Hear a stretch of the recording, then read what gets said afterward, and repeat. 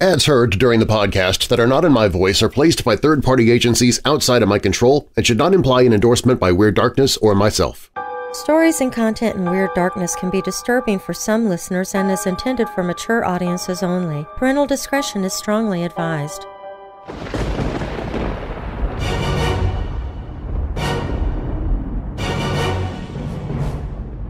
Welcome, Weirdos! I'm Darren Marlar, and this is Weird Darkness.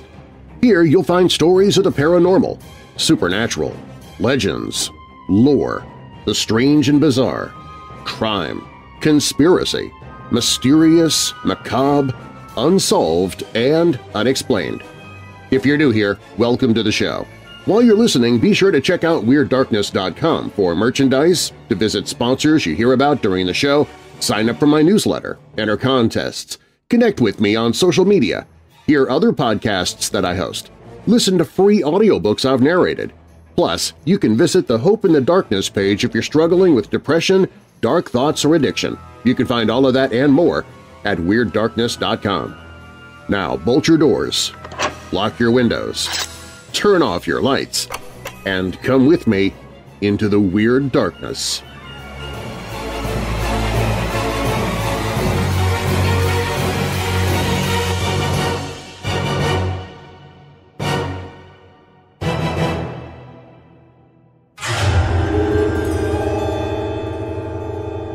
The origin of this ancient giant book is unknown. It has been compared to the Seven Wonders of the World in the Middle Ages. For over 700 years, this ancient manuscript has fascinated scholars. The existence of the book is connected with a certain legend that should have worried the Church, but the truth is that this ancient manuscript was never condemned by the Inquisition. That the Church would allow a Bible that depicts the devil sounds like a contradiction, but in this case it is true.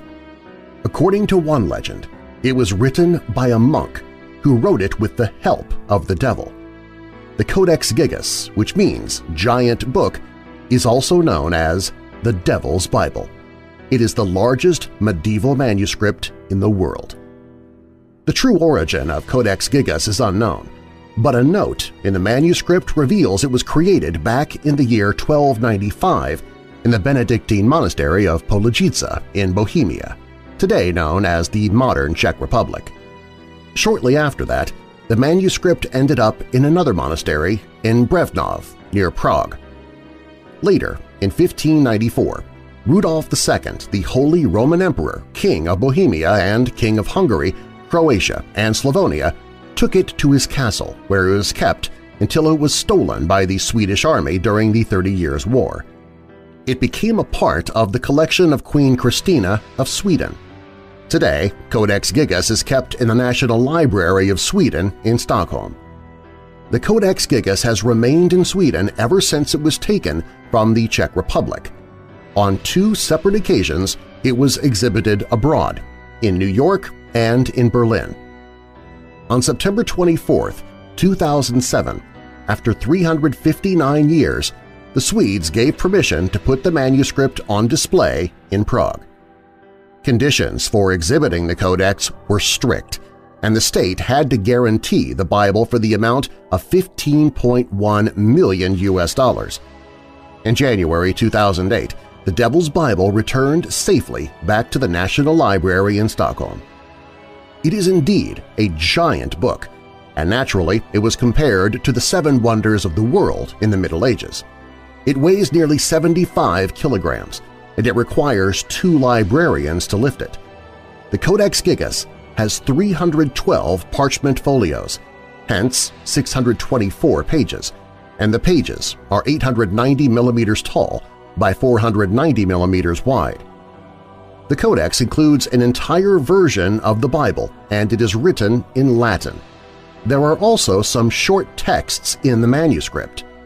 The first is a work on penitence, a manual for priests with a list of sins and appropriate ways of atonement. Parts of this work make it clear it was written by a churchman who committed sins. The Codex contains also a magic formula on how to overcome evil, misfortune, and disease. Inside, it also has a calendar containing a list of saints and local Bohemian persons. The calendar was also used to keep track of feast days of the church. All the indications are that it was a life work of one person. Historians estimate that the scribe in question must have conceivably spent as many as 20 years on such a monumental work. The reason Codex Gigas is referred to as the Devil's Bible is because inside this large book there is an image of the devil. The portrait of the devil is the most famous image in the Codex Gigas. It is not uncommon to find images of the devil in ancient medieval manuscripts and other works, but this one is slightly different. For one thing, the devil is illustrated alone, and it occupies a whole page. He is depicted in an empty landscape standing between two large towers, and he's raising his hands up in the air. He has only four fingers and toes. This illustration was intended to portray the devil as the Prince of Darkness. According to a legend, a monk who once lived in the monastery of Podlažice, Czech Republic, was sentenced to be walled up alive for his sins.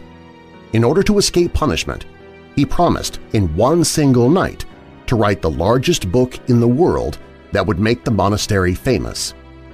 He soon realized that the task was beyond his powers, and he invoked the aid of the devil, who demanded the monk's soul as payment. When the book was completed, the monk drew an image of the devil to thank him for his support. The legend says that the monk avoided the punishment, but he lost his peace of mind and his life turned into hell. It is a strange world we are living in, one would assume that the legend behind the creation of the world's largest book was disturbing for the Pope and the Church, but this was not the case. Despite its unconvincing source, this medieval manuscript was never condemned by the Inquisition. On the contrary, it was studied by a number of scholars.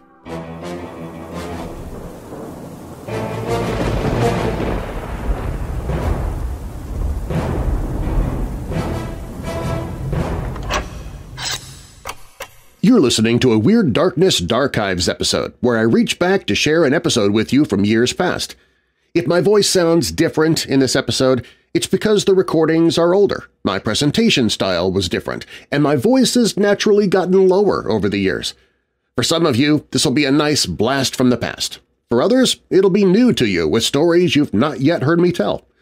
My goal now is to bring you new episodes of Weird Darkness every Monday through Friday as best I can, and also post a Dark Archives episode or Darkives episode every day of the week as well. I hope you enjoy the new schedule.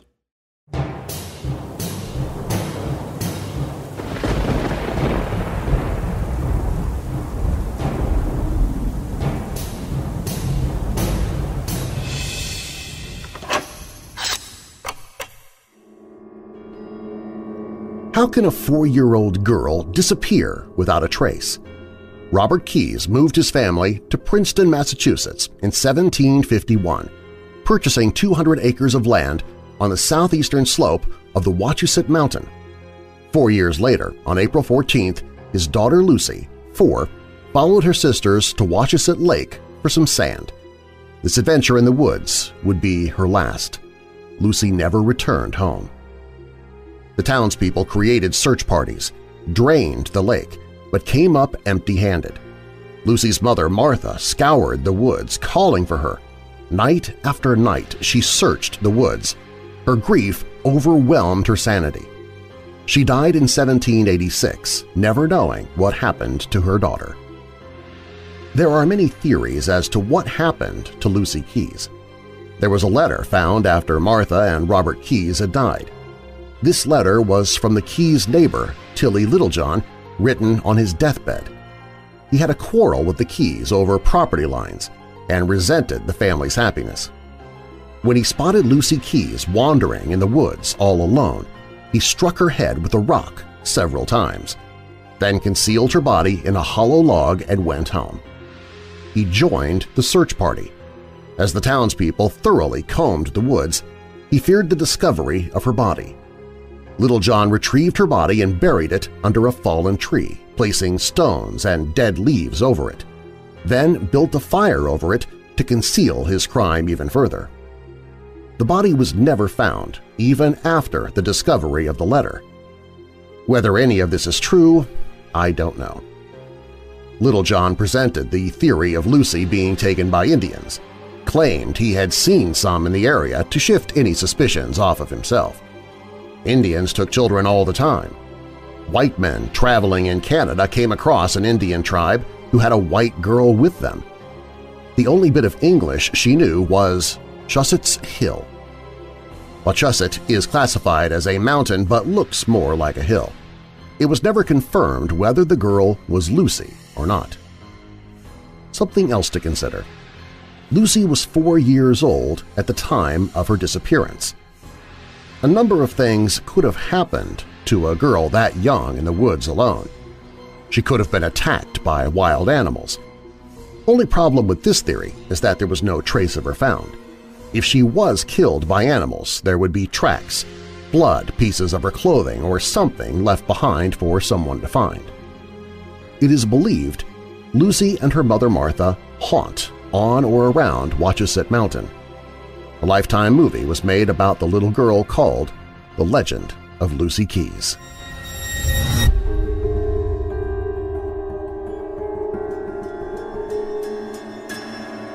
On June 18, 1865, the bodies of two children, Isabella and John Joyce, were discovered in a forest area known as Bussey's Woods near Roxbury, Massachusetts, outside of Boston. Raped and savaged with dozens of knife wounds, poor Isabella had been slaughtered among the trees. John was found a short distance away, beaten and stabbed nearly a dozen times himself. The murders would have gone unsolved if the same killer did not strike again seven years later. The serial killer, or repeat killer as such a monster was known then, was a man named Franklin Evans, and in the eyes of his contemporaries, he was the most monstrous and inhuman criminal of modern times, or indeed of any time. His crimes have been largely forgotten over the years, which is strange in itself given that they were brutal, bloody, and targeted children.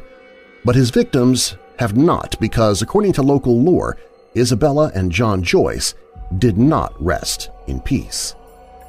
On Monday, June 12, 1865, 15-year-old Isabella Joyce and her 12-year-old brother John, children of a recently widowed seamstress who lived in Lynn, Massachusetts, went to visit their grandmother in Roxbury, a neighborhood of Boston. At around 11 a.m., they asked for permission to go and explore a nearby wooded area called Mays Woods, which was popular locally as a picnic spot and recreation ground. After some initial reluctance, their grandmother agreed to let them go. She packed them a lunch, gave them 10 cents each for their trolley fare, and told them to return no later than 2 p.m.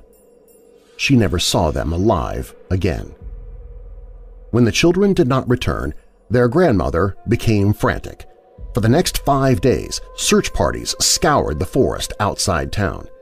It wasn't until Sunday, June 18th, however, that two men, John Sawtell and J.F. Jameson, while hiking in nearby Bussey's Woods, not Mays Woods, where the children said they planned to go, stumbled across the remains of the two missing children. From the scene, it seemed clear that Isabella and her brother had been playing contentedly in the woods, creating little hillocks of moss and fashioning wreaths out of oak leaves and twigs when they were unexpectedly attacked. The assailant, which the newspapers called a fiend in human shape, attacked the girl first, cutting her savagely with a knife, tearing off her undergarments, and raping her. The coroner found 27 stab wounds in her torso and another 16 in her neck. The ground around her body was saturated with blood. She had apparently put up a desperate fight, grabbing the long blade of the knife and trying to wrest it from the attacker's hands. The index finger of her right hand was completely severed, and the rest of her fingers were mangled, bloody, and hanging loosely by bits of skin. Her clothing was soaked in her blood, and clumps of grass and dirt had been roughly shoved in her mouth to try and stifle her cries. Apparently poor John had stood paralyzed for a few moments in terror, watching the attack on his sister. When he finally turned to run, it was too late. He was found lying face down in the dirt, possibly having tripped over a tree root when he was attempting to escape. The killer had pounced on the boy's back and stabbed him a half dozen times. The wounds were so deep that in several instances the blade had gone all the way through the young boy's body and pierced the earth beneath him. There were two houses within a few hundred yards of the murder scene, but the occupants were so used to hearing shouts, laughter, and yells from the nearby picnic area that, as the newspaper noted, they would not have paid any attention if they heard screams on this occasion. The horrific savagery of the Joyce murders provoked a tremendous response throughout the state. From church pulpits, ministers pointed to the murderers as a sign that the country was descending into a deplorable state of vice, immorality, and crime. Rewards totaling more than $4,500, more than $60,000 in today's money, were offered by local residents, while an enormous manhunt was started for the inhuman wretch that was responsible for the outrage. Newspapers issued confident predictions that the perpetrator would be speedily arrested and subjected to summary vengeance. But even though a number of likely suspects were interrogated in the wake of the murders, no serious suspects were found. Months, then years passed with no arrests in the case. It seemed that the murder of the Joyce children, which newspapers called one of the most horrible and revolting crimes which has ever occurred in New England, would remain forever unsolved. Time moved on, and for the most part, the murders were sadly forgotten. But in the early summer of 1872, seven years after Isabella and John Joyce had been brutally slain, a new string of events was set into motion when Franklin Evans came to board with his elderly sister, Mrs. Deborah Day, at her farmhouse in Northwood, New Hampshire. Evans, a gaunt and grizzled 64-year-old ne'er-do-well, had led a shiftless existence for most of his adult life. A contemporary writer later said of him, he belonged to that numerous class of deadbeats that are always broke. Wandering the New England countryside, he survived by sponging off his adult children, borrowing small amounts of money from relatives and acquaintances, and blatantly seeking handouts from strangers. What little honest money he did make came from supplying a Manchester physician, Dr. F. W. Hanson, with healing roots and herbs that he scrounged up in the forest. His vagabond life had given the old man a deep knowledge of the land, and his reputation for obtaining medicinal products of the woods and fields was unsurpassed. Even in this line of work, though, Evans could not keep from betraying his lazy and dishonest nature. Claiming that he himself was a botanical physician, he peddled worthless cures to rural families. He also passed himself off as an itinerant preacher. Taking advantage of the religious fervor of the era, he joined the Second Advent Society, declared that he was a minister of the gospel, and managed to raise a little money from his brethren to support himself while on his sacred mission. The religious society naturally took offense, however, when he was arrested for consorting with prostitutes. And this incident wasn't his only brush with the law. At various times he was charged with petty theft, attempting to pass crudely forged $10 bills, and, most seriously, scheming to defraud the Travelers Insurance Company of Boston of $1,500. If these crimes were the worst of his transgressions, Evans would have been nothing more than a small-time scoundrel, a snake oil salesman and a con artist. But as the country would eventually learn, much to its horror, he was something far worse. A creature so depraved that to the people of his time his crimes seemed the work of a supernatural evil, too horrible, as one newspaper stated, for anything in human form to have perpetrated. There were four people living at his sister's farm when Evans showed up there that summer. Mrs. Day and her husband Sylvester, their widowed daughter Susan Lovering, and Susan's daughter Georgiana. This poor young woman, Evans' grandniece, immediately became the object of the depraved old man's lust. Within days of his arrival, he began trying to seduce the girl. When she repulsed his advances, he concocted a diabolical scheme.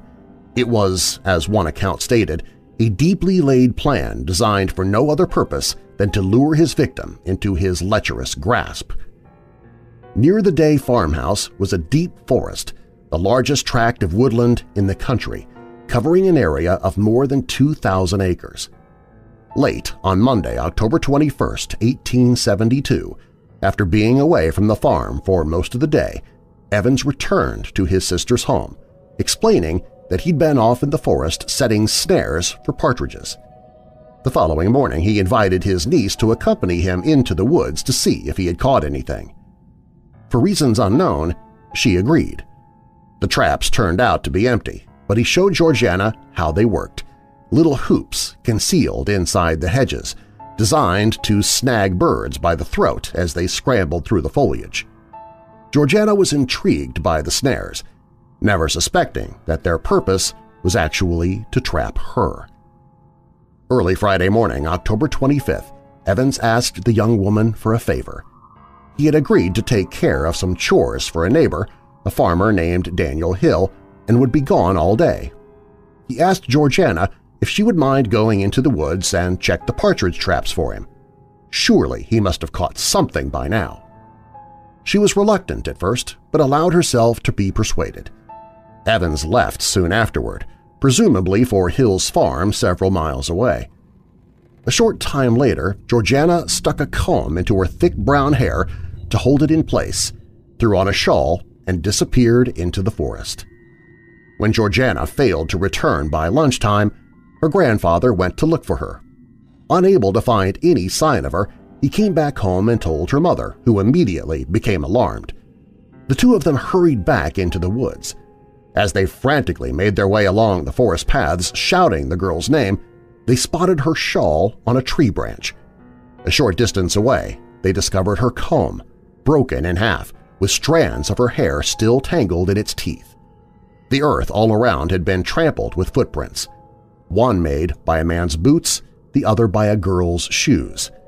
Evidence, Sylvester Day would later testify, of a squabble. Terrified now, Day and his daughter pushed deeper into the trees, but found no other signs of the missing girl. The two of them ran home, alerting the neighbors as they went. Throughout the weekend, all day on Saturday and Sunday, hundreds of people scoured the woods but found nothing. By then, however, suspicion had fallen on Franklin Evans. The authorities checked with Daniel Hill and found that Evans' story didn't hold up. He had not asked him to help with chores that day. In fact, he hadn't seen him for more than a week. Another witness, a young man named James Pender, testified that he had seen Evans cross into the forest at around 8.30 a.m. on Friday morning, just a half hour before Georgiana had disappeared into those same woods. County Sheriff Henry Drew grilled Evans, but the old man could offer no convincing account of his whereabouts on the day that his grandniece went missing. He was promptly taken into custody. Inside Evans' pockets, Drew later stated he found a wallet, money, obscene books, a bottle of liquor, and a common bone-handled knife with two blades, blood-stained and keen as a razor. Even after he was arrested, Evans denied knowing anything about what had happened to Georgiana. But when Drew assured him that no harm would come to him if he confessed, Evans changed his story. Georgiana, he insisted, was alive and well. He had arranged to have her carried away by a man from Kingston, a farmer named Webster who wanted her for his bride and was willing to pay for her. Although Sheriff Drew was skeptical, he immediately started for Kingston, where he quickly confirmed the story was a base falsehood. Back at the jailhouse, he continued to badger Evans, plying him with liquor and even telling him that he would help him escape to Canada if he told him the truth. Finally, on October 31st, six days after the girl's disappearance, the old man gave in. Evans told the sheriff he would accompany him to the place where the body had been left. Through the dark forest, they silently made their way along, over rocks and logs and along narrow trails. Then, in a clearing at one of the deepest points of the woods, Evans took the sheriff and an assembled group of deputies to a spot underneath the roots of an upturned tree. He pointed a shaking finger at a pile of dried leaves and quietly murmured, There she is. The sheriff gently brushed away the leaves, and by the dim light of his lantern saw the pale face and mangled remains of Georgiana Lovering. Two townsmen who were at the scene, Evan J. Parsley and Alonzo Tuttle, had brought the local physician, Dr. Caleb Hansen, with them. Gaping in shock at the body of the naked, savaged girl, Parsley couldn't help but speak. He demanded of Evans, how did you come to do such a bloody deed? The old man shrugged as he replied, I suppose the evil one got the upper hand of me. Dr. Hansen bent down to examine the dead girl. A glance at her face with its bulging eyes, swollen and protruding tongue, and dark bruises at her throat told him that she had been strangled. Her body had been hideously mutilated. Evans later confessed that he had raped her corpse and then had torn open her belly with his bone-handled knife to get to her uterus. He had also excised her vulva, which he carried away with him and hid under a rock. When a stunned Sheriff Drew asked him why he had committed such butchery, the old man calmly replied that he did it to gain some knowledge of the human system that might be of use to me as a doctor. As he was dragging the man back to jail, Drew had one more question for him. What did you set those snares for, Frank? Evans answered with a self-satisfied smirk, I set them to catch the girl. And I catched her. Franklin Evans' trial opened on February 3, 1873, but it was a perfunctory affair. The outcome was a foregone conclusion to everyone involved, including the defendant. Only one dramatic moment occurred during its three-day duration. Early on the morning of Tuesday, February 5th, while his guard was off fetching him a glass of water, Evans took one of his suspenders, tied it around his neck, attached the other end to a clothes hook on the wall of his cell, and tried to hang himself. Just then, the newspapers reported, the guard returned, seized Evans, and disengaged him from the hook. Most observers believed that the man's half-hearted suicide attempt was nothing more than a ploy to set up an insanity defense. If that was the case, the effort failed. He was convicted of murder in the first degree and sentenced to hang on February 17, 1874, for his unnameable and incredible crimes he will be swung like a dog, celebrated one local newspaper, which went on to recommend that those wishing to attend the hanging should make early application in order to secure reserved seats which will be scarce. Accompanied by the High Sheriff of Rockingham County, J.W. Odlin, Evans was transported by train to the state prison at Concord. A crowd of more than 800 people gathered at the station to get a glimpse of him. One newspaper stated that they were excited to a remarkable pitch of feeling. This frenzied fascination was not entirely based on Evans' notoriety as the killer of Georgiana Lovering. By then, he had confessed to other crimes as well, atrocities that marked him as one of the most appalling killers of the era. Evans began his murderous career nearly 15 years earlier when he was visiting Derry, New Hampshire, Passing by the home of a family named Mills, he peeped in a window and spotted a little girl approximately five years of age playing on the floor. There were no adults nearby. Possessed by the urge to procure a body for surgical purposes, he snuck into the house, snatched the child, then took her off into the woods and strangled her.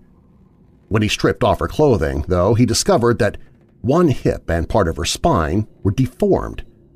Filled with revulsion, he abandoned his plans to examine her, the name he gave to post-mortem rape and sexual mutilation, and buried the corpse under a rotten tree stump.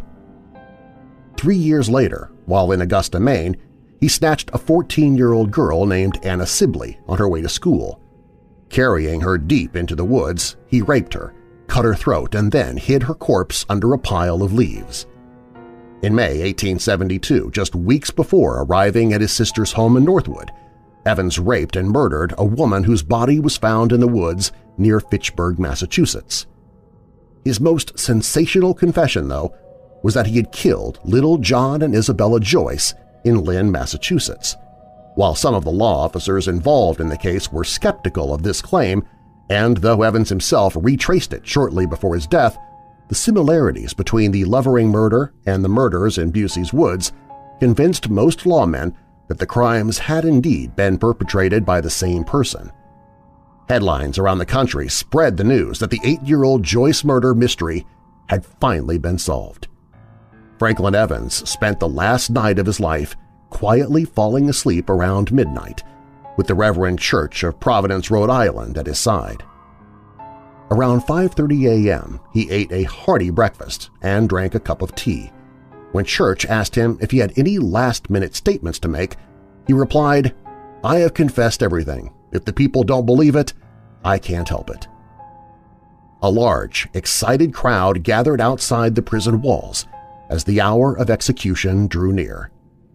At 10.50 a.m., they were admitted into the building where the gallows had been set up in the corridor between the guardroom and the cells.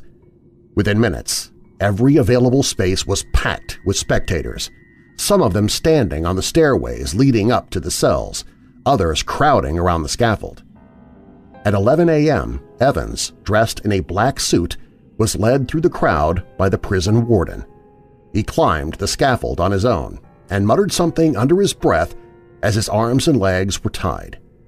He appeared quite calm and possessed, although the people were standing closest to the gallows later reported that his knees were trembling. The noose was adjusted around his neck and a black hood was pulled over his head. After reading the death warrant, Sheriff Odlin placed his foot on the spring that controlled the drop and, at exactly 11.06 a.m. on Tuesday, February 17, 1874, the elderly serial killer was launched into eternity. He dangled in the air, slowly strangling for nearly 20 minutes before his heart stopped beating and the attending physician declared him dead. Ironically, since he claimed that his murders were committed so that he could gain anatomical knowledge to aid him as a doctor, his corpse was donated to the Dartmouth Medical College so that it could be dissected by the students there.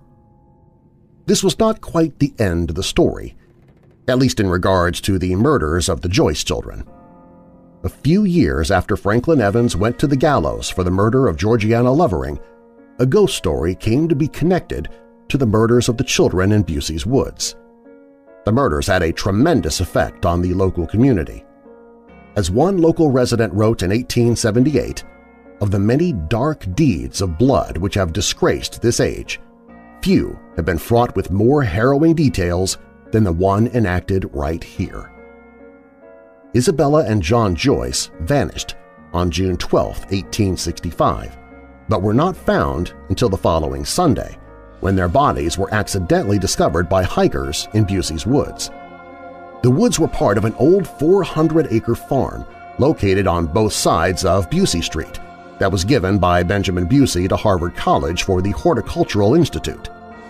In time, 120 acres of the farm and woods would become the Arnold Arboretum with the Bussey Institute on one side. The Joyce children had sought the high ground of the woods for their picnic. Isabella had been raped and stabbed repeatedly, and her brother was found a quarter mile away by Bussey Brook in a condition that sickened the war-hardened Civil War veterans who saw the body. It was surmised that just before noon he had left his sister, fallen, and finally been attacked by his sister's murderer. The children were brought back to Lynn for burial. The funerals became the scene of public sorrow, especially since they occurred just two months after the assassination of President Lincoln. Rewards were offered by the authorities, and seven suspects were interrogated and released.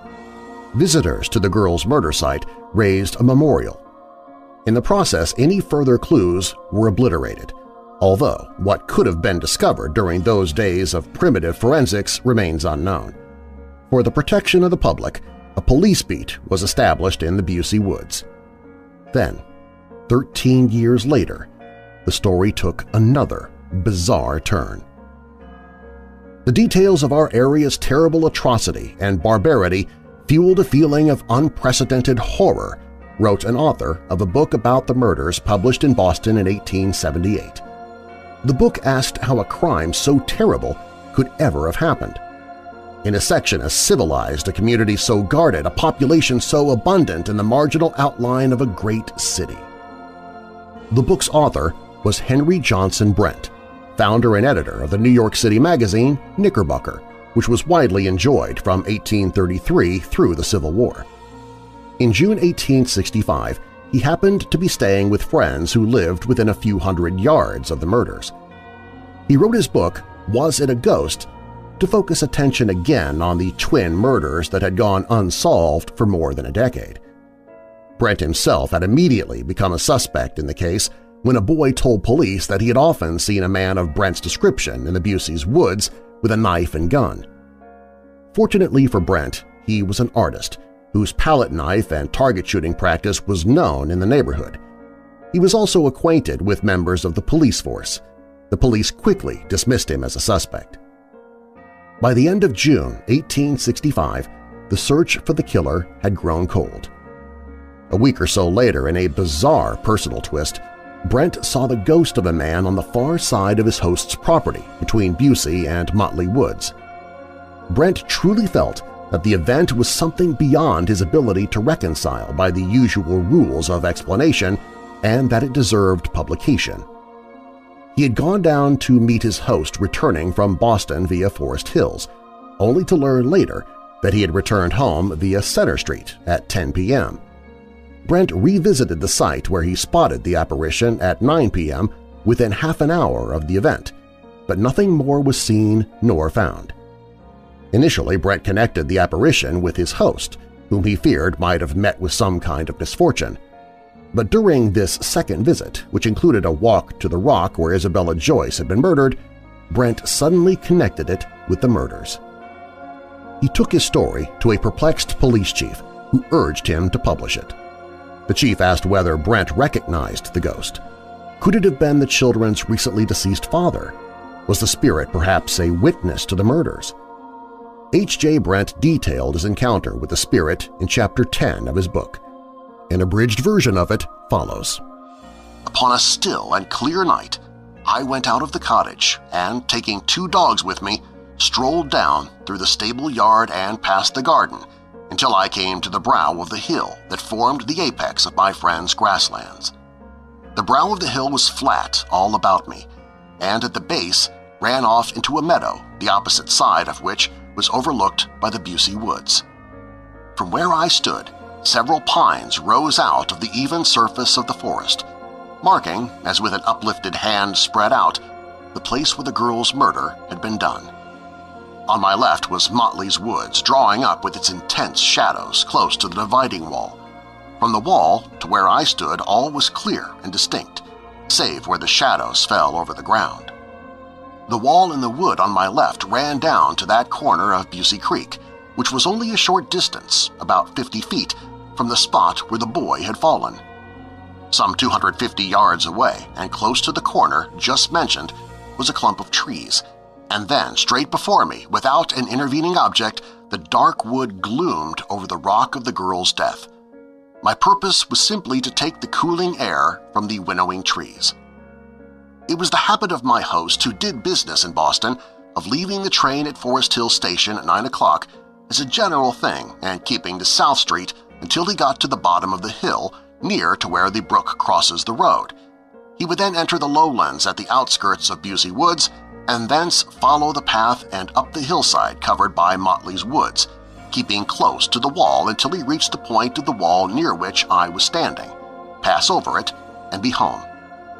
Knowing that my host was irregular as to his hours of return home at night, I was not surprised when I saw a figure lean over the wall for an instant within about 20 feet of me, pause a moment, and then cross over to the side on which I was. Seeing that he stopped, I spoke aloud these words, Hello, Dan, is that you? Though I could discover the figure and recognize its movements, there was too great a shade thrown over the wall to enable me to distinguish a face so familiar to me. To my appeal there was no reply, and then in an instant the impression came upon me that if it really was my friend, he was testing my nerves. Up to this moment, I never had a thought apart from him.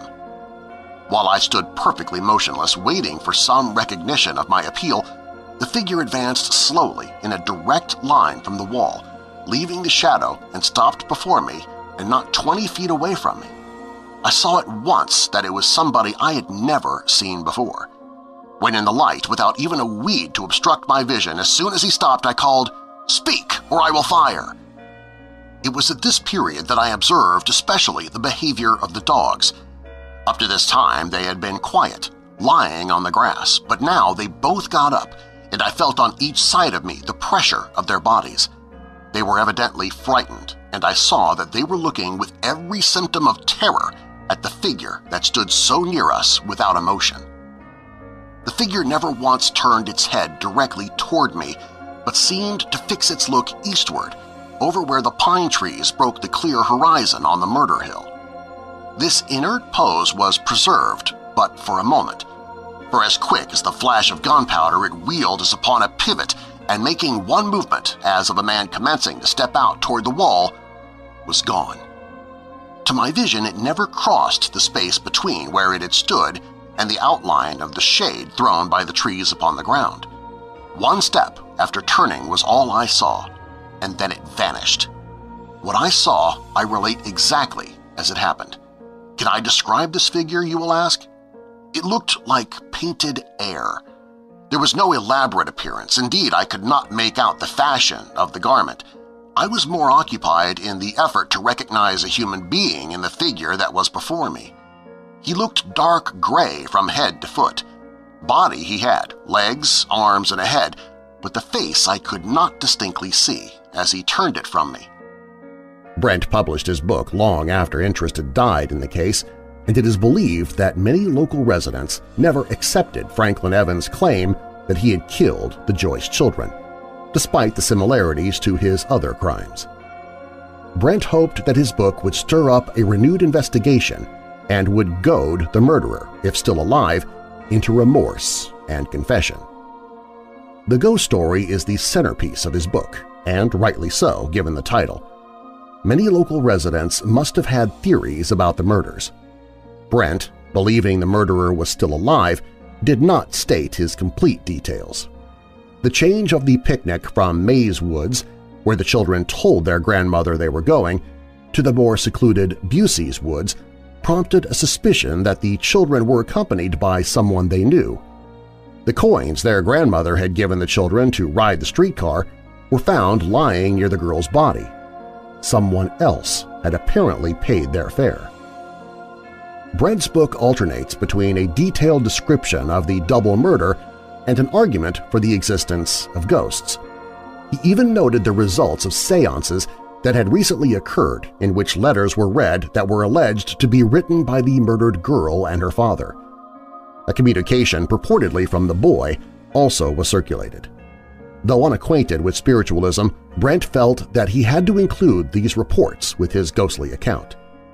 Brent maintained a terrible feeling of guilt over the fact that he had been in Bussey's woods painting and target shooting on the day that the murders took place and yet had seen nothing. Unfortunately, his unorthodox look at the murders, weaving together the crime and the ghost stories, drew scorn from many contemporary reviewers. One of them wrote, We are disposed to consider this a very unsubstantial pretext for making a book. What good it accomplishes, what end it serves, it is impossible to discover. It does not help the identification of the murderer. It throws no light on the supernatural speculations so prevalent these days. The curious public will probably hang with fresh interests on the horrible details of the crime, but no one, as far as we can see, will be benefited by its perusal.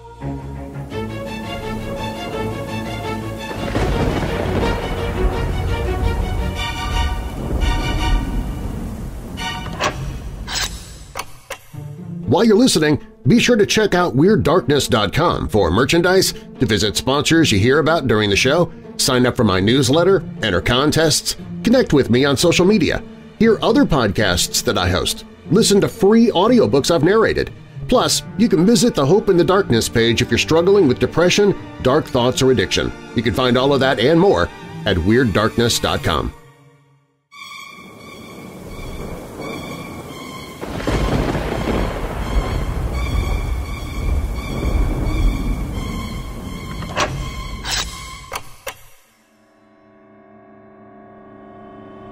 My husband and I had an experience, and creepily enough, it was in Massachusetts.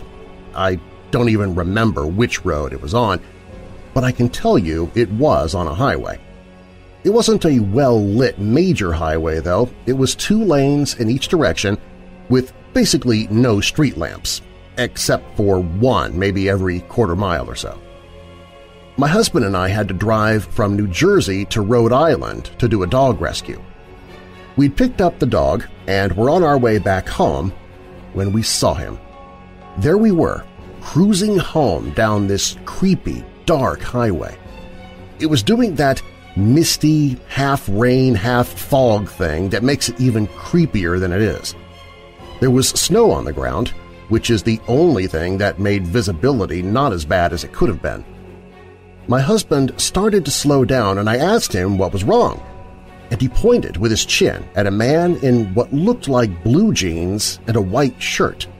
No jacket. It was 35 degrees out.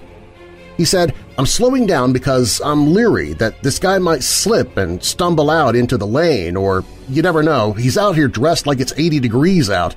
He might decide to leap in front of us. When we looked again, the guy was gone. There were no trees he could have gone into. There were just fields along that stretch of road, and with the snow it was easy to see the fields. There was a tree line, but it was at least 300 yards back. There's no way he made it to that tree line in six seconds or less. He was nowhere. It was three-plus hours back home to Jersey from there, and we were creeped out every inch of the way. I was petrified I was going to turn around and see him in the back of our van with the dog crate or something. I was never so glad to get home and get out of that car.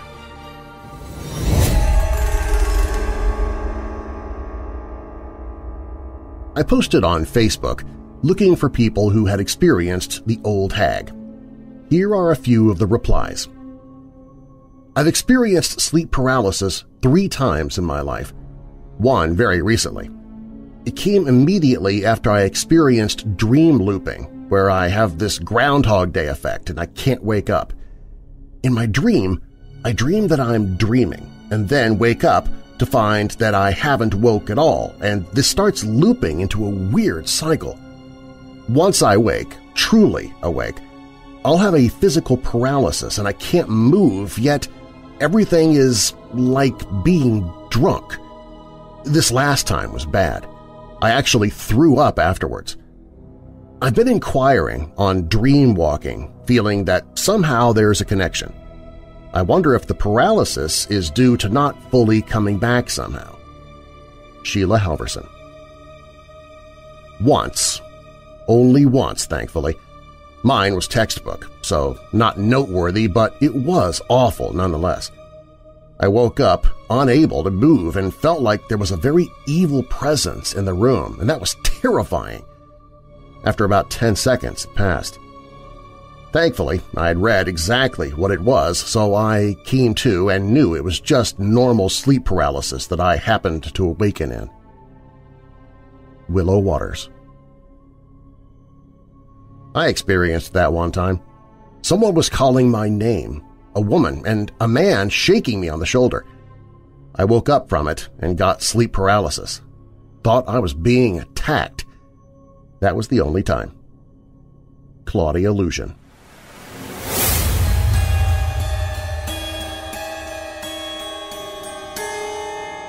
This happened when I was about five or six years old. My sister and I were in our shared bedroom one night and I was playing with a plastic toy phone. I said hello into the receiver and clearly heard an older man's voice say hello back to me.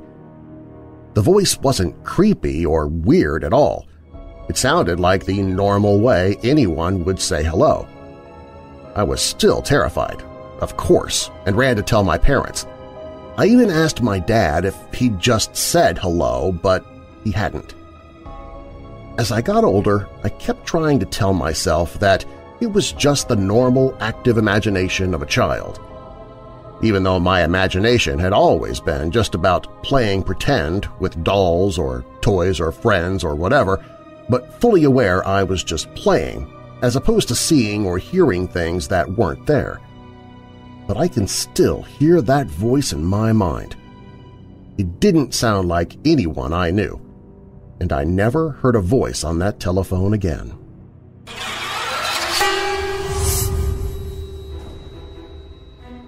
One of the most famous characters in Czech fairy tales is a water sprite called Vodnik, or Hastromen. You can see him anywhere close to water, and he embodies the spirit of water. He's usually depicted as a green man riding on a catfish. He has green hair, bulging eyes, and water is dripping from his coattails. He's usually described as an evil spirit that likes to harm people and who catches inexperienced swimmers in order to gain their soul. He's very resourceful when it comes to catching souls and will use ribbons and small mirrors to lure girls into the water, for example. He can also change himself into all kinds of animals, such as a horse. But if somebody tries to ride him while he is a horse grazing by the shore of a pond, he jumps into the water with the person on his back and drowns them. He stores his gathered souls in a jar at the bottom of the pond. Then there are the Rusalki, female ghosts, mermaids, or water demons that haunt lonely lakes or rivers. Rusalki are believed to be the souls of unbaptized children, suicides or unwed mothers who die in childbirth, living in a state of purgatory.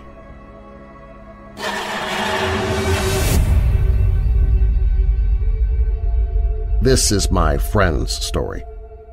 There's a Japanese crab restaurant, and she works there as a part-timer. After she'd worked there for a while, she heard many strange stories about the restaurant. The stories are about two ghosts that are there. One day, one of the employees she knew saw a man entering the kitchen. He'd never seen the man before, so he assumed he was a customer. He wondered, what is he doing in the kitchen? So he told the owner about it. Oh, he's not a customer, the owner said. He's a ghost. We see him all the time. The owner didn't look scared at all. He's often here walking around, he said. The other story is about a woman wearing a kimono. Some employees talked about seeing her in the restaurant. My friend saw her too.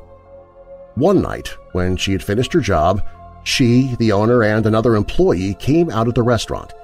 It was 2 a.m. Of course, they had turned off all the lights in the restaurant. However, she saw a red light shining through the window. She thought, did I forget to turn off a light? But she was wrong. She looked in the window and saw a woman wearing a kimono standing near the red light. My friend was very surprised and told the other two. Really? the owner said, and they all looked in the window.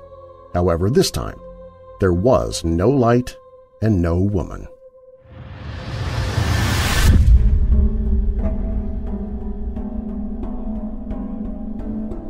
A gas station attendant in northeast Louisiana had a terrifying encounter on November 2012. The gas station was creepy enough to begin with at 3 a.m., but then the power went out. Led by the light of his cell phone, the attendant was able to get the generators going, but the backup lighting was dim and only lit up in certain areas, like the cash area and the parking lot, while the rest of the isolated establishment was cloaked in black. Out in that darkness he noticed movement. Three children on bikes were heading his way. They stood at the door and stared at the attendant. He felt creeped out, but they were just kids, and it was way too late for them to be out. He opened the door and asked if they were okay. The young girl asked to use the phone, but as he handed his cell over to her, he realized her eyes were all black. No, I need the real one! She pointed at the landline inside. The thought of letting her inside sent chills up his spine. He shouted at all of them to leave as he slammed and locked the door. The children stood there a bit longer, silently staring at him through the glass with their solid black eyes. Then they got back on their bikes and disappeared back into the darkness. The next morning, the attendant was eager to go through the surveillance footage. Unfortunately, the power outage cut the cameras off, and they didn't boot back up with the generator. He had nothing to prove the events of the night before took place.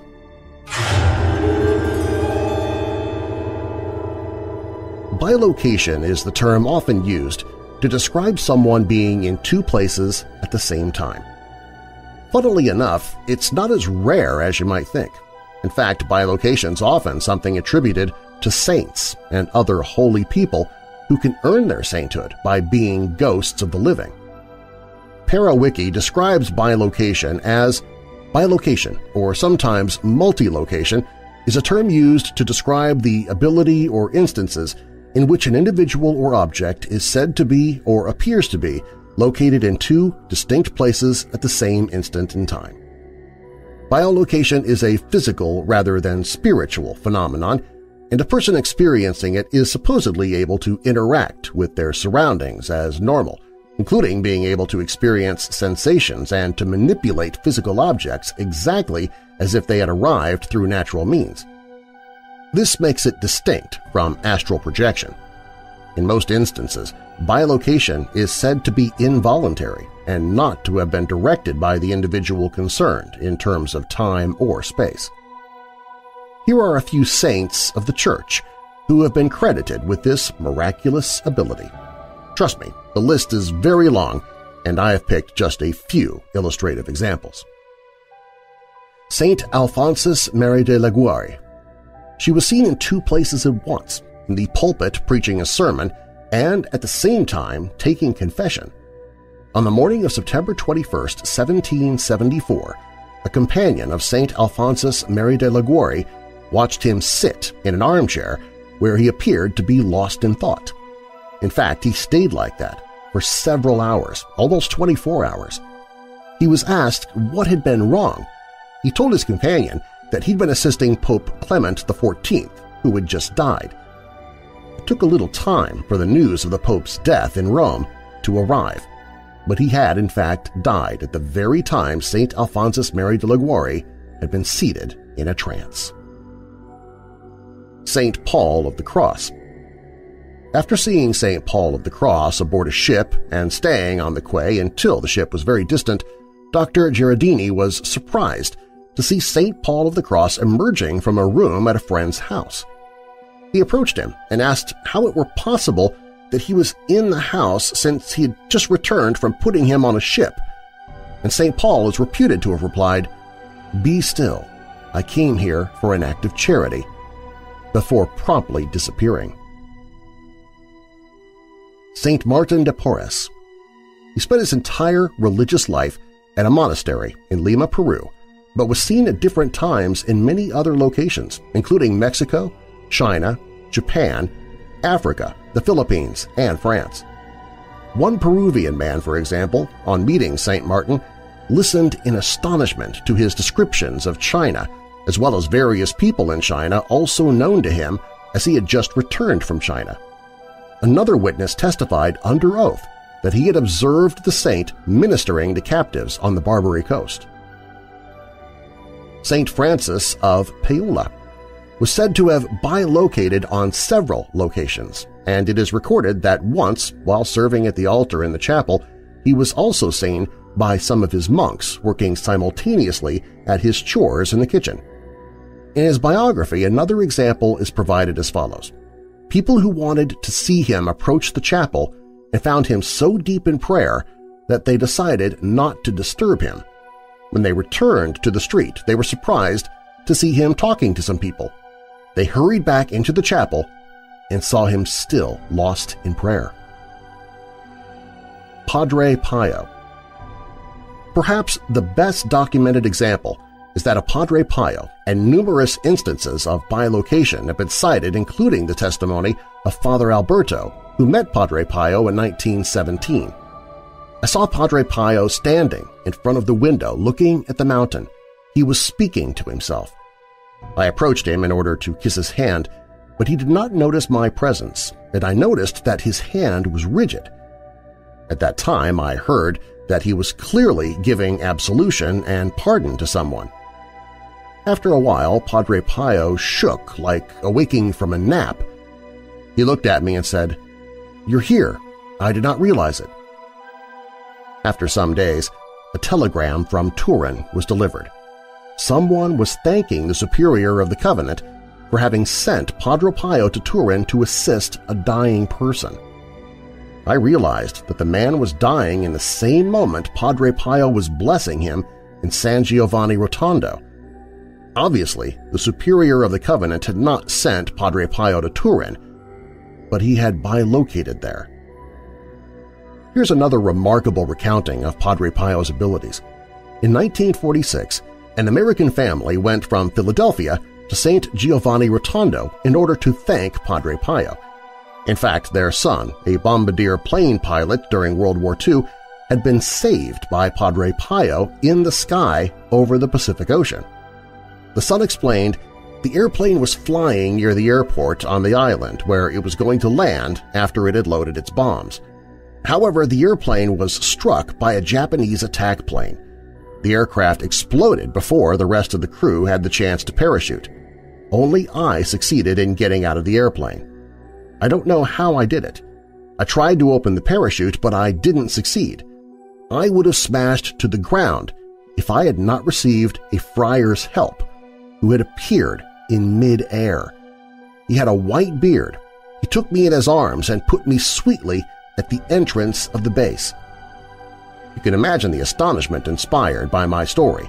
Nobody could believe it, but given my presence there, they had no choice. I recognized the friar who saved my life some days later while on home leave. I saw the monk in one of my mother's pictures. She told me she had asked Padre Pio to look after me.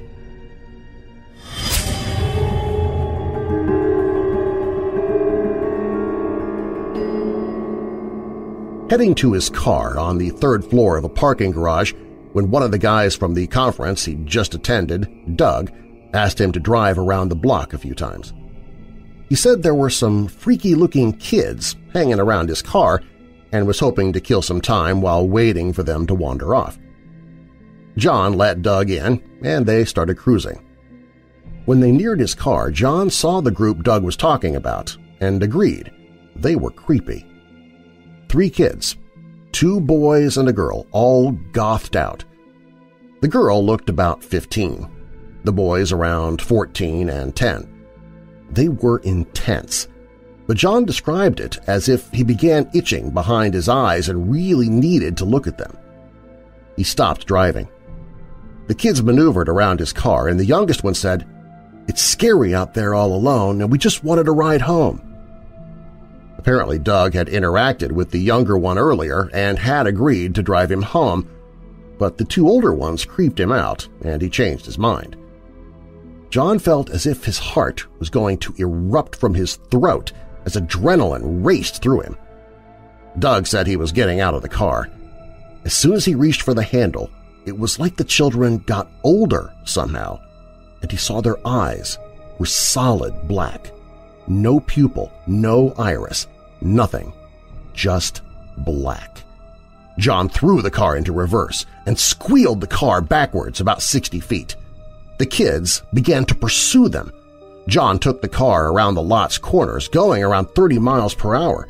He felt that they would die if he let those kids get in the car. He sped down three floors only to find the oldest boy was already at the bottom of the garage when they came out. They sped past him out of the garage, and when John glanced in his rear view, the boy was gone. And so was that menacing feeling that had been building inside him since making contact with those kids. They waited a few minutes before going back, and Doug was able to get in his car and head home. The black-eyed children were nowhere in sight. Upon leaving the garage for the second time that night, the menacing feeling returned. John was behind Doug's car watching helplessly as it misjudged the time it would take to get through the intersection on a yellow light.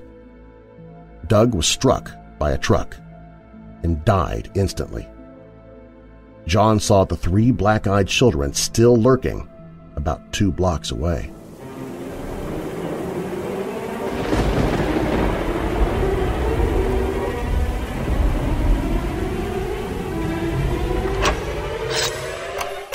If you or someone you know is struggling with depression, dark thoughts, or addiction, please visit the Hope in the Darkness page at WeirdDarkness.com. There, I've gathered numerous resources to find hope and solutions. For those suffering from thoughts of suicide or self-harm, there's the Suicide and Crisis Lifeline, as well as the Crisis Text Line. Both have trained counselors at all hours to help those in need, and the page even includes text numbers for those in the U.S., Canada, United Kingdom, and Ireland. Those struggling with depression can get help through the Seven Cups website and app, and there's information for anyone to read more about what depression truly is and how to identify it through our friends at ifred.org. There are resources for those who battle addictions, be it drugs, alcohol, or self-destructive behavior, along with help for those related to addicts. The page has links to help you find a therapist or counselor, to find help for those who have a family member with Alzheimer's or dementia, help for those in a crisis pregnancy, and more. These resources are always there when you or someone you love needs them on the Hope in the Darkness page at WeirdDarkness.com.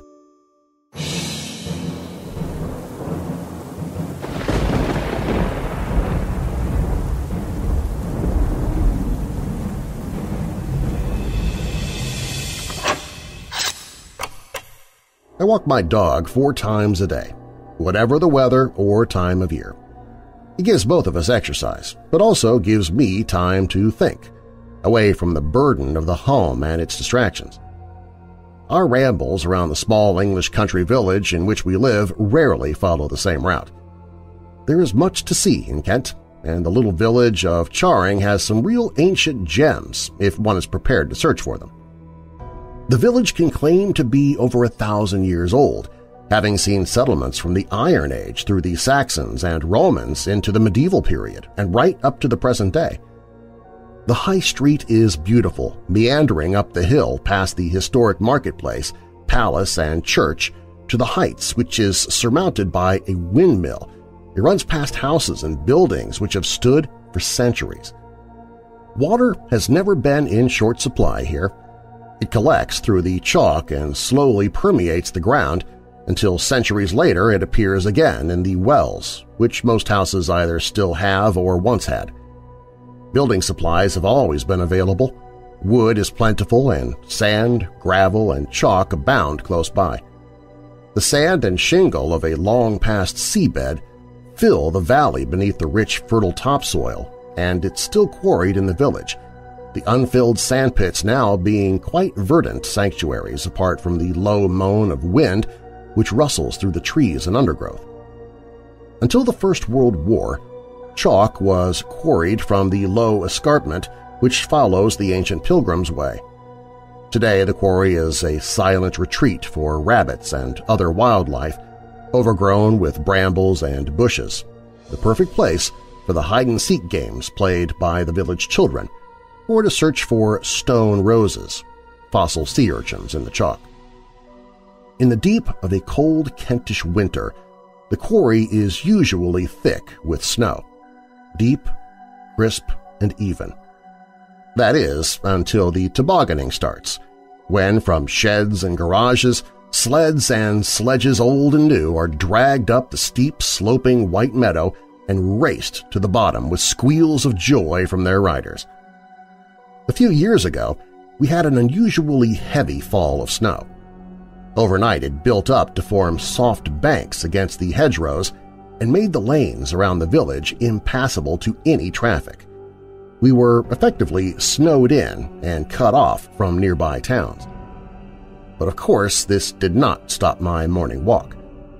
I had awoken early to that strange silence which heralds the sight of snow, as the curtains are pulled back to reveal the day. The sad orange ball of the sun had peeked over the trees in the east very briefly before being swallowed up by gray and forbidding clouds as they swept the sky. In my kitchen, the comforting aroma of brewing coffee and the warmth of the stove invited me to linger over breakfast before buttoning into a sheepskin coat and slipping on stout boots for our chilly walk.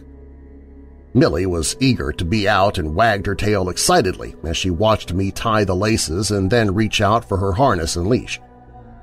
Once outside, we crunched through the snow as we made our way across the road.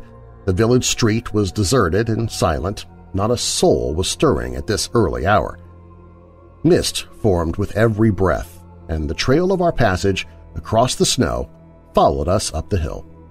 It was as if we were alone in the world, the only evidence of others being the gray smoke that issued from odd chimney and wafted gently into the sky. Our walk took us up across the top of the ridge where we could see the village and fields below, a white patchwork of roofs and gardens with strange humps here and there, bushes and cars covered with snow and waiting for the day to warm enough to reveal them again as the snow melted. The quarry lay below us with an unspoiled blanket of snow across the meadow, the blue shadows of the trees fading gently into cold white as the sun struggled to overcome the cloud. We made our way down the slope, and, stopping at the stile which bridged the fence, I lifted Millie gently across and followed her into the meadow. I now observed that another lone soul had woken early, as snowy footprints made their way from the stile across the field. A single line of prints wavered across the white expanse and over the ridge in the direction of the village, the way in which we were going. We followed on, Millie stopping now and again to mark her way as dogs are inclined to do. She's always loved the snow, a medium which she sees only occasionally but obviously enjoys, much as a child would. She loves to play in the snow as much as she loves the sand on a summer beach. As we passed over the ridge, her behavior changed. She no longer wanted to frolic in the snow and hung behind my heels, keeping close to me with her tail down and giving the odd, quiet whimper. The footprints stretched ahead of us, and now took the diagonal direction across the middle of the meadow, away from the path to the bottom stile which led on to the village lane. Curious now, I followed the trail, ready to greet my fellow walker, whoever it was, and to enjoy discussing the weather as we chatted on our way back to our warm homes it was not to be. Millie and I followed the prints to the exact middle of the field, at which point they stopped in mid-stride. The snow around was crisp, deep, and unspoiled. Only our footprints could be seen alongside the now mysterious trail. It was as if whoever had left the prints had been lifted to heaven suddenly as he or she had strode across the snow. Millie began to howl, something I had never witnessed before. A sad, wild wailing from deep inside her, a sound of despair mixed with fear. I shivered myself in spite of the warmth of the sheepskin coat and the thick sweater below. I suddenly did not want to be on this spot a second more than I had to, as the realization of a strange disappearance ran through me. Millie was tugging to get away, the leash tight and whistling oddly as the cold, brutal wind caused it to vibrate and sing. The feeling of being closely watched came over me as the dog pulled hard back in the direction in which we'd come, and in spite of the willowy sun above, the meadow became cold, dark, and unwelcoming. We made our way back as we had come, the dog now in my arms, shivering and snuggling close to my face for comfort. As we climbed the stile to get out of the field, I looked back across the quarry to the meadow with its trails of our own footprints and those of an unknown person still forming a dark line across the snowy surface. As I looked, I thought I witnessed a very faint glow at the end of the trail. It glimmered briefly and formed into a gentle mist as fresh snow began to fall. For the first time, I noticed that no other footprints than those of me and my dog approached the stile from outside of the field.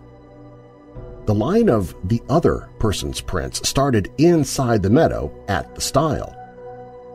My wonder became worry as the falling snow thickened more on our way back to the house, and its warmth and comfort, the outdoor chill had deepened and the snow fell in thick flurries, making the day dark and silent around us as we walked. That day, I pondered the footprints and experimented in my garden trying to walk backwards in my own prints in case a practical joker was at large. It was impossible to walk in this way, as even if one foot went accurately into the print, one's weight was differently distributed and messed up the print.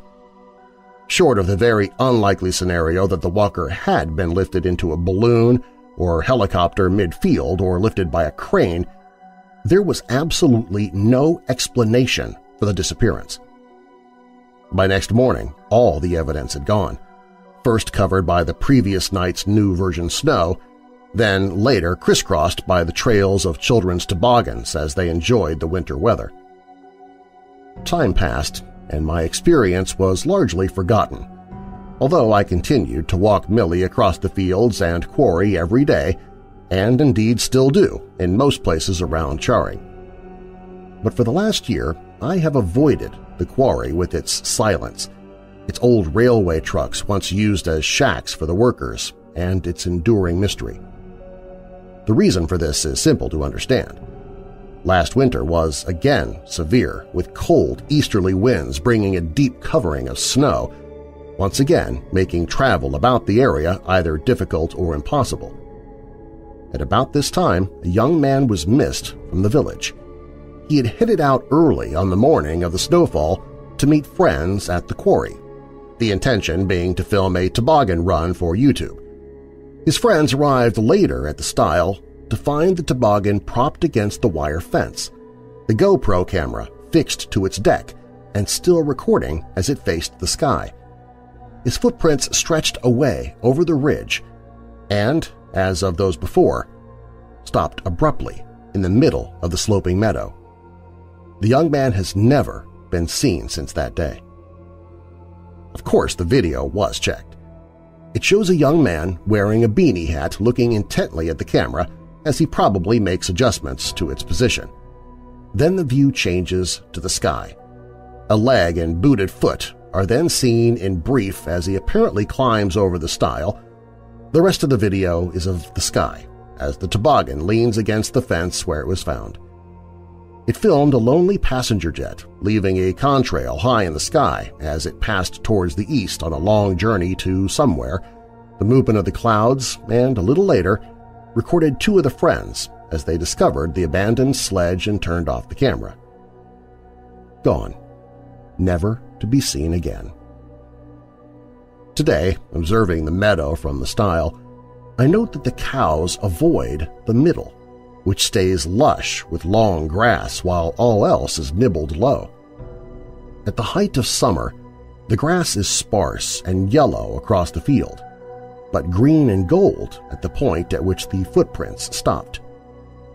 On a satellite view, the patch is easily seen from far above, which is how I prefer to view it. Far away is not far enough for me. What happened in the meadow, we will likely never know. I have a theory about this mystery, as I'm sure others in the village will have too. It is a silly and strange theory, and I do not wish to be seen as a fool, so I keep it to myself. I no longer walk the quarry in winter, and in fact I no longer walk in the quarry at all, whatever the time of year. But something tells me that the quarry will remain in my mind forever. I wait until the next time, as I'm sure it will happen again. And is this a true account? Visit the quarry yourself or Google it. Make your own decision.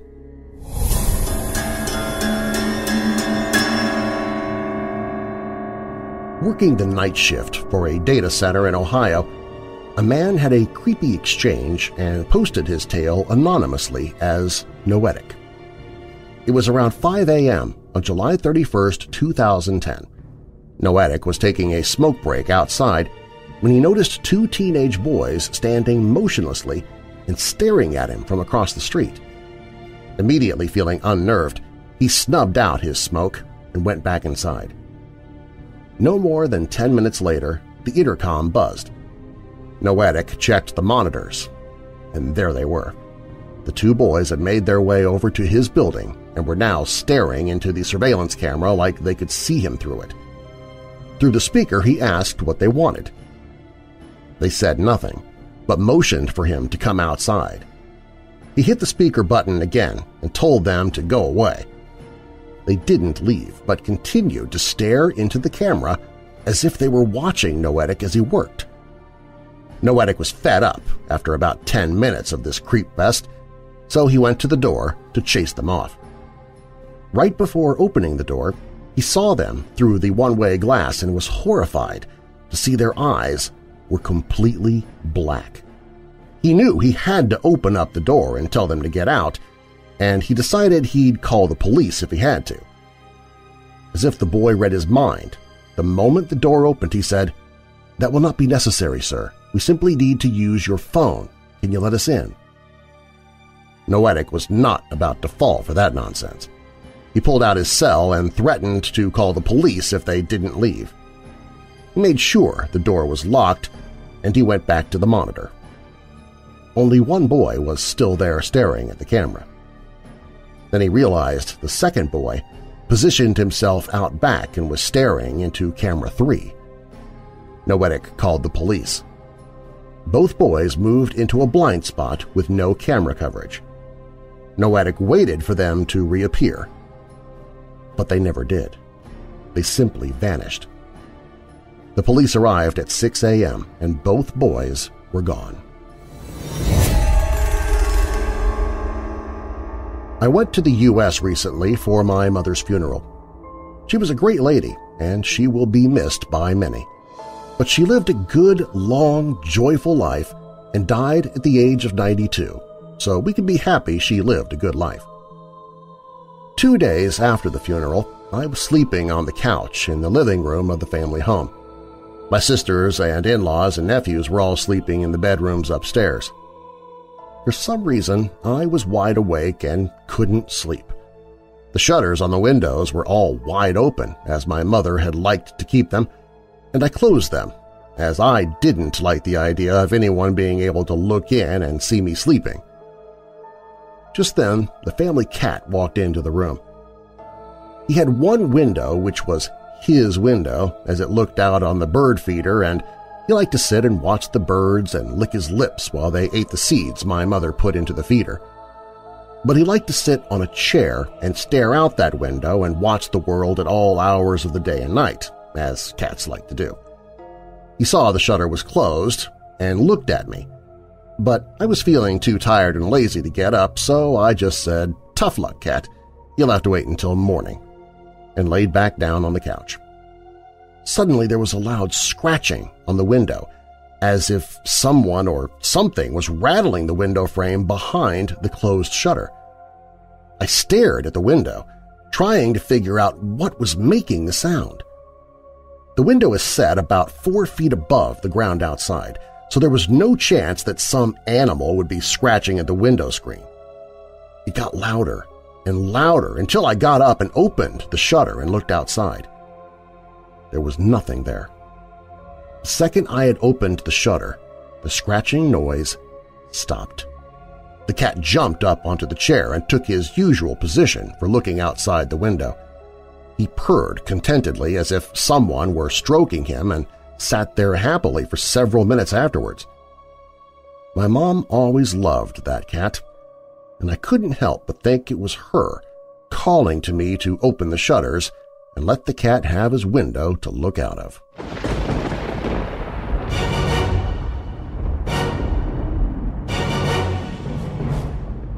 Thanks for listening. If you like what you heard, be sure to subscribe so you don't miss future episodes.